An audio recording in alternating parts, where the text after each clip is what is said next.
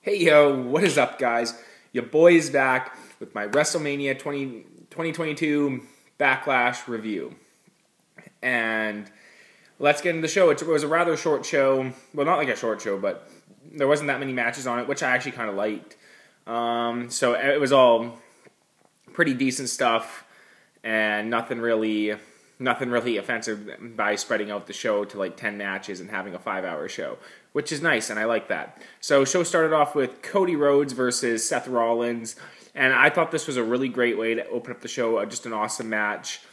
Um, I, I, didn't like it as much as the WrestleMania match. The WrestleMania match was just super, super special to me. Um, and this year it was just a solid wrestling match. This time Cody, he and Seth Rollins, he wrestled like he had a lot more time that he had prepared for this match, and yeah, it really showed that he had like storyline wise that he did, and yeah, so he had the advantage for a lot of the match, and he was getting ahead on Cody, and Cody was falling behind in the match, and he it just yeah, and Cody he ended up ca- catching the roll up victory at the end, and yeah, so it wasn't it wasn't as definitive of a finish. So I don't know if they're going to continue this and it's going to keep going. I haven't seen Raw yet, so yeah, I thought it was an awesome match.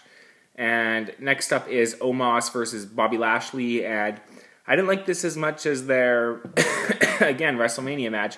Um, it just kind of felt like there was a lot of fighting out in the middle. Bobby Lashley was a lot stronger, more protected in this, whereas rather just than treating Omos as the immovable object and something for o- Bobby Lashley that he had to overcome, which I also really quite liked. Um, yeah, so it just it didn't I can't even, like Omos got the victory here. There's not really that much to say about it. It wasn't very long, I don't think, and yeah, it just wasn't as good as the WrestleMania match. And Omos, he's just a big guy. Like he he should be protected. He's a big guy. Not a lot of people can do the things or is as big as this guy, so he should be protected. But yeah, it's uh, it just it was what it was pretty much. No other really thing to say about it. Um, Next up here, I, I, do have a bit to say about this match here. Uh, Edge versus AJ Styles.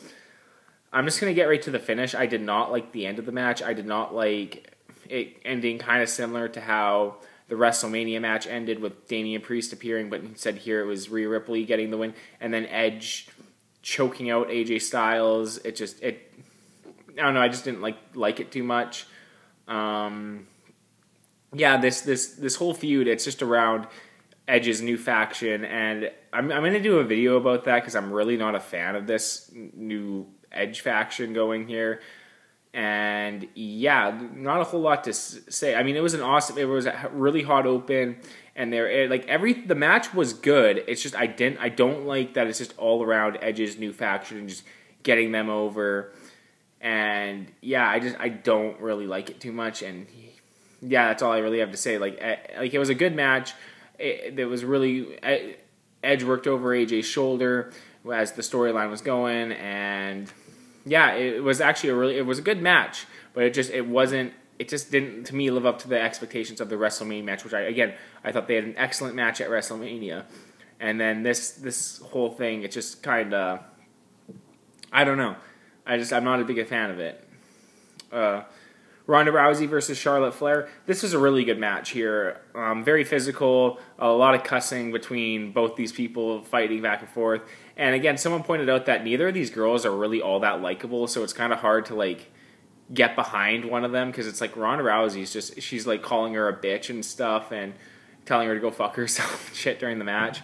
Um, I just don't yeah, I, I, am not a fan of Ronda Rousey. Charlotte Flair, she's just not, she just does not come across as likable. It's not that she's a bad person or anything like that. She's just, uh, uh, she, I guess she is the heel, but it doesn't really work when Ronda Rousey is supposed to be the face. But Ronda Rousey's also not very likable. I there's she I, I didn't find her too likable when she was in the UFC, and then sorry, and yeah, it's just it, this whole match here. I mean, it had a really cool, like some really awesome stuff in it. Like the armbar on the turnbuckle was really really cool because you really bought into that. Like, oh, this could be the end of the match, and then it wasn't. And then fighting around in the crowd and stuff. So yeah, this is a highly highly physical match, and it was just a great women's match. But yeah, just hard to get into, and it's like you can't, you don't really care who wins or who loses. Like you just don't have an emotional attachment to either of them.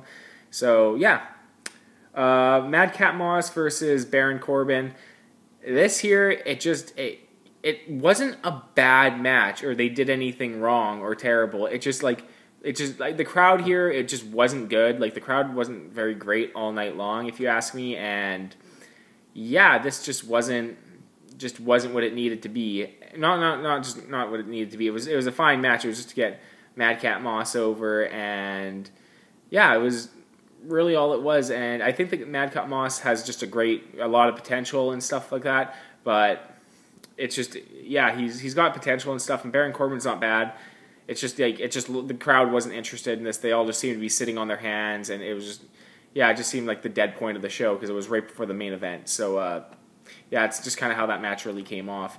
And the main event here, the Bloodline versus Rated RKO and Drew McIntyre. Uh, Randy Orton came off as a god in this match. Like people love him, and they were just so so behind him. And this whole RK Bro thing has just made him an even bigger star in the eyes of the, the fans and stuff. So it's like Rated RK Bro is like one of the most over is probably the most over act on Raw. I think that's pretty easy to say. Like, yeah, I think I think they're pretty much the most over versus the most overact on SmackDown with the Bloodline. So this is again just the most invested feud in the WWE. People got into Drew McIntyre just not as much as I thought they should because he, he, I, I don't know, like should he beat Drew, Drew, Roman Reigns? Um, yeah, you think you figure he'd go over here and they they get him. Uh, they build him up for the match, but no, the Bloodline did go over. Had a really awesome finish. Um, people popped huge for Randy Orton in this match when he did get the hot tag and he was hitting RKO's. he hit that really beautiful RKO on Roman Reigns when he was going for the Superman punch, which was really sick.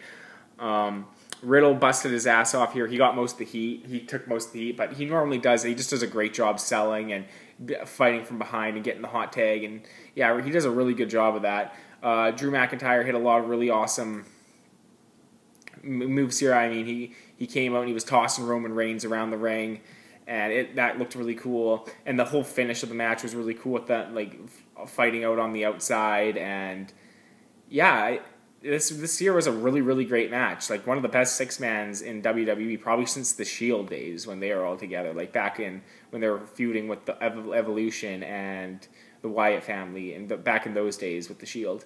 So yeah, this is a great match. I'd highly recommend the first match and the last match on the show. But overall, this is a really good show. But it just kind of seemed like it didn't really build anything. It wasn't like the like the great post WrestleMania shows like Extreme Rules 2012 when Brock returned. It just felt like a big deal. Or Backlash 2007 with the Fatal Four Way with Shawn Michaels, Bret Hart, uh, not Bret Hart, John Cena, Edge, and Randy Orton. Like and the Last Man Standing match with Batista and Undertaker back on that show. So it just it didn't have those that same kind of feel. It just kind of it just kind of came the show the fans really came off really mundane. But everything else, like the in ring work, if you're just a fan of good pro wrestling, this is a good show for you to watch. A lot of great stuff here if you get into that. Anyways, I'll be back with the Hell in the Cell review next month. Peace out, guys.